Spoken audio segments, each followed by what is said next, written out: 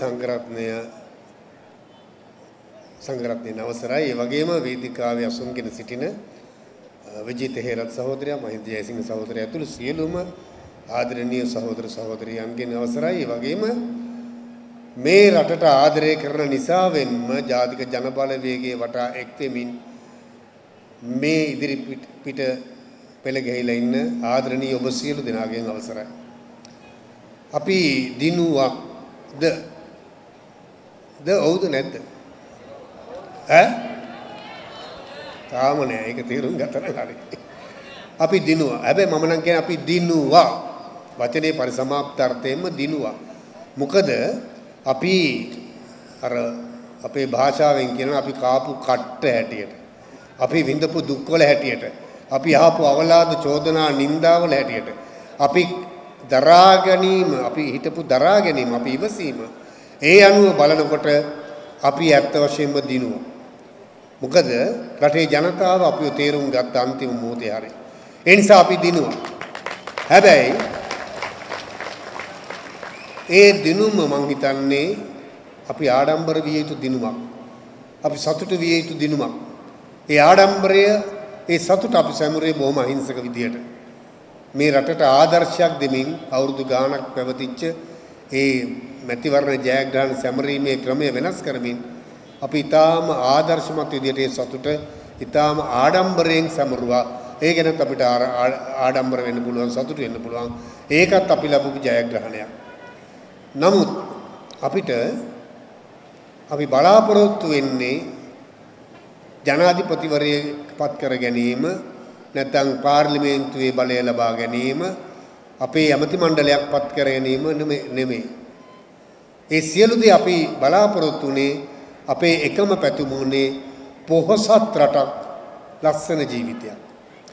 ඒ දේ ලබා ගන්න නම් අපිට තව පියවර ගණනාවක් ජය ගන්න වෙලා තියෙනවා. මේ ජයගත්තේ ඇත්තටම ජනාධිපතිවරණයෙන් ජයගත්තා කියන එක ආරම්භය පමණයි. ඒ නිසා මංගල පස්පිඩල්ල කැපීම පමණයි. අපිට තව අත්තිවාරම දාන්න තියෙනවා ඒ මත ගොඩනගන්න තියෙනවා මහ විශාල ශ්‍රී ලාංකීය පුනරුද්ධ යුගය බිහි කරන්න අපිට තියෙනවා. සැබවින්ම මේක පුනරුද්ධයක් බවට පත් කරලා මේ සමාජය මුළුමනින්ම වෙනස් කරලා අපිට ආදරය කරන ගෞරවනීය මිනිස්සු හැටියට අභිමාණයෙන් ජීවත් වෙන්න පුළුවන් රටක් නිර්මාණය වුණු දවසට තමයි මම හිතන්නේ අපි සැබෑ ලෙසම දින්න කියලා අපිට කියන්න පුළුවන් වෙන්නේ. ඒ නිසා අපි දැන් මංගල පියවර ඊටාම සාර්ථකයි. මම නාට්‍යකාරයෙක් හින්දා අපේ භාෂාවෙන් කිව්වොත් අපි තිබ්බේ පහුගිය 21 වෙනිදා මැතිවරණයෙන් මුහුරත් එක පමණයි. මුහුරත් උත්සවය කියන එක බහලා තියෙනව නේද?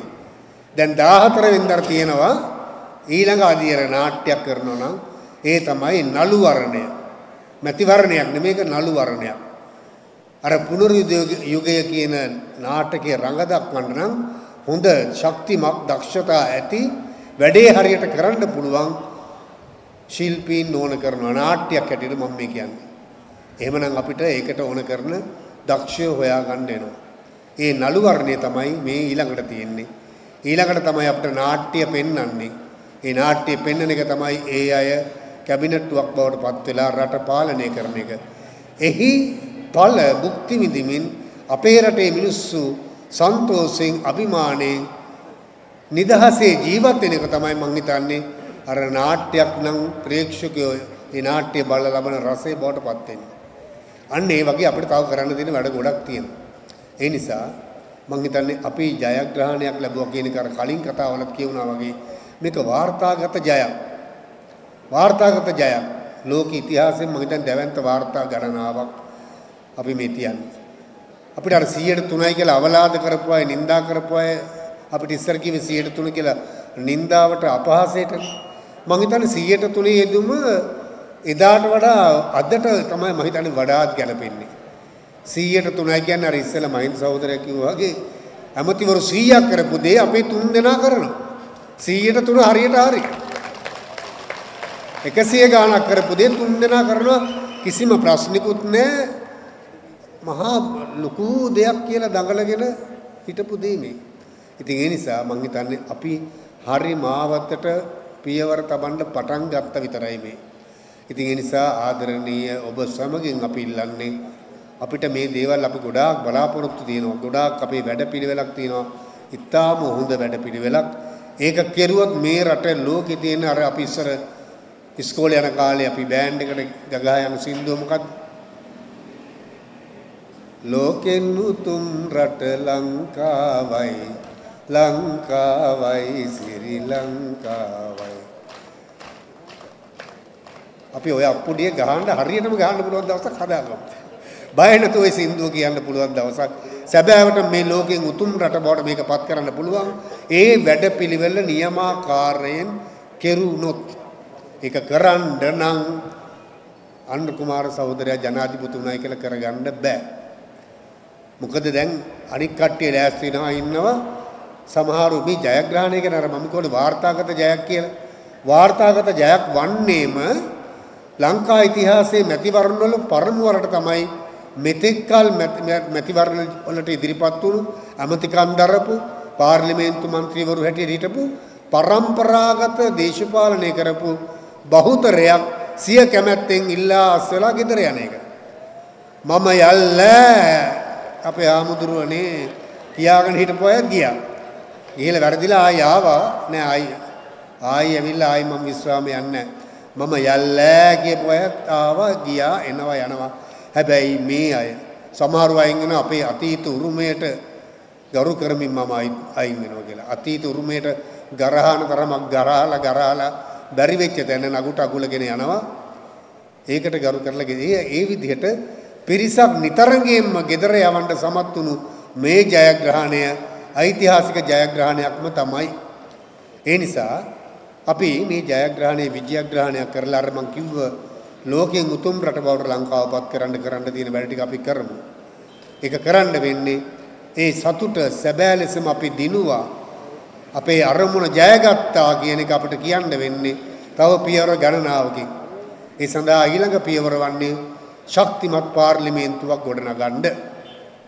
ශක්තිමත් පාර්ලිමේන්තුවක් ජාතික ජනබලවේගයේ අය හදන බව ඊටාම පැහැදිලි. එකයි ස්ථිරයි පැහැදිලිවම ජනාධිපතිවරණයේ ජයට වඩා ජයග්‍රහණයක් ලැබමින් පැහැදිලිවම ජාතික ජනබලවේගයේ ආණ්ඩුවක් හදලා ඊටාම හොඳ කැබිනට් එකක් හදනවා මේ ගම්පහෙන් 22කින් 19 දෙනාම කී දෙනෙක් යවමුද අපි? ආ 22ම යවන්න බෑ 19 යවන්න පුළුවන්. 19ම යවමු. 19ම යවමු මොකද අර හැබැයි අර අයටත් පොඩි අවස්ථාවක් දෙන්න වෙයි මොකද? ඒ අය කියනවා නෙමේ දැන් දන්නවා ආණ්ඩුවට ජීවිතයට එන්න බෑ. ඒ පරාජය බාර අරගෙන දැන් කියන්නේ මොකද්ද? ශක්තිමත් විපක්ෂයක් සඳහා. අපි ශක්තිමත් විපක්ෂයක් ලෙස ඉඳලා ආණ්ඩුවට උදව් කරන්න ලෑස්ති. විපක්ෂයට ඇවිල්ලා උදව් කරන හැටි අපි දන්නවනේ ඒ නිසා ඔය හොරු මංකොල්ලකාරයෝ ජඩයෝ මෙතෙක් කල මේ රට විනාශ කරපු ජනතාවගෙන් ප්‍රතික්ෂේප වුණු කිසිම කෙනෙක් විපක්ෂයටවත් ඕනේ නැහැ.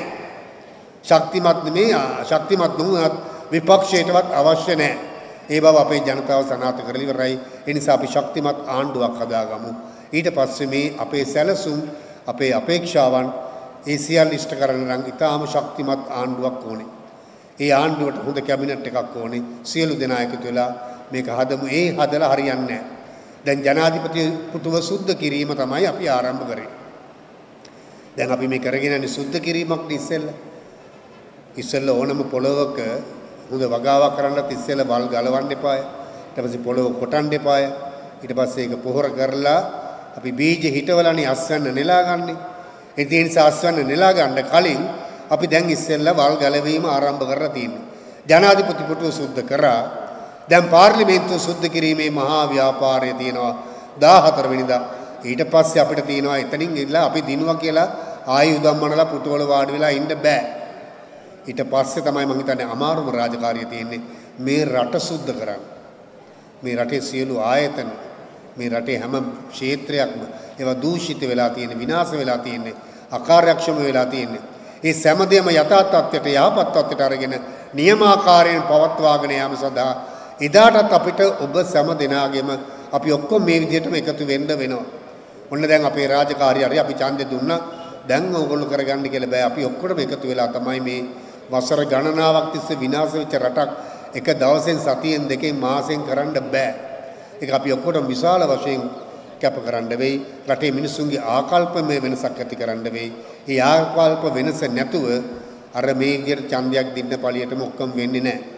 ඒ නිසා ඒ සඳහා එකතු වෙන්න ඒ දක්වා අපිට ඉවසන්න සිද්ධ වෙනවා කියන එකත් කියමින් මං හිතන්නේ රටේ ජනතාව සූදානම් වෙලා ඉන්නවා එකට අපි මේ දුක විඳ වගේම තවත් මහන්සි වෙමු තව ටිකක් කැප වෙමු වඩාත් කැප වෙමු කැප වෙලා 14 වෙනිදාට ඊටාම ශක්තිමත් ආණ්ඩුවක් මාලිමා ආණ්ඩුවක් පිහිටවන්නට අපේ ඉන්න ඊටාම දක්ෂයෝ බුද්ධිමතුන් ඒ සඳහා හැම ක්ෂේත්‍රයකම ප්‍රවීණයන් ඉන්නවා.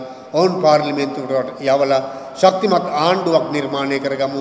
ඊට පස්සේ අපි සේරම දෙනා එකතු වෙලා මේ රට සුද්ධ කරලා පැහැදිලිවම පැහැදිලිවම පොහොසත් රටක් ලස්සන ජීවිතයක් ලබා ගමු. ඒ සඳහා අපේ මේ සියලු අපේක්ෂකයන්ට ශක්තිය ධෛර්යය ලැබේවා කියලා මම ප්‍රාර්ථනා කරනවා. සැබෑ ලෙසම අපේ රටේ ජනතාවට පොහොසත් රටක් ලස්සන ජීවිතයක් ලැබේවා. ඒ ලබා ගැනීම සඳහා අපේ රටේ සියලුම ජනතාවට නුවණ නැනස පෑදේවා කියලා ප්‍රාර්ථනා කරමින් මම සමුගන්නවා. බොහොම ස්තුතියි සියලු දෙනාට.